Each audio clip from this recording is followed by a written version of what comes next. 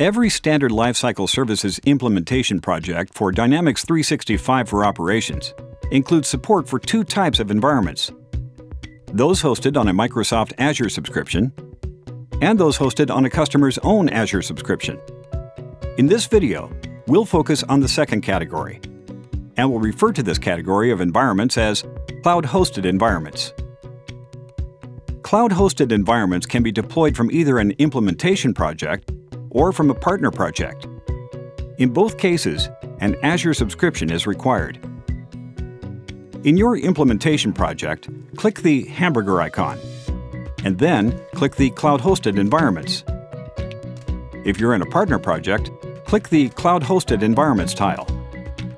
If you haven't already done so, you'll be asked to set up an Azure connector to link the Lifecycle Services project with your Azure subscription. Click Yes Read the instructions for Azure Resource Manager-based deployment to determine if there's any action needed by your tenant administrator. When ready, click Add. Enter your Azure subscription name and ID. Then select Yes for Azure Resource Manager-based deployments. Click Next. Click Next to authorize Dynamics Deployment Services to access your subscription. If you're a valid Azure subscription user, click Next.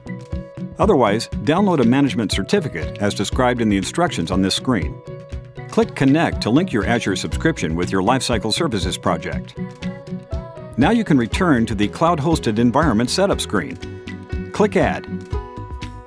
Select Azure to deploy an environment on your own Azure subscription. Select a topology. Select an application and platform version.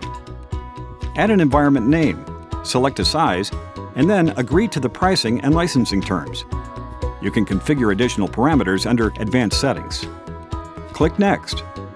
Click Deploy.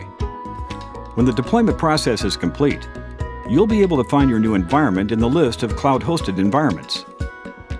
In the Environments list, select an environment that you want for maintenance tasks. On the Maintenance page, you can start, stop, maintain, deallocate, or delete the environment.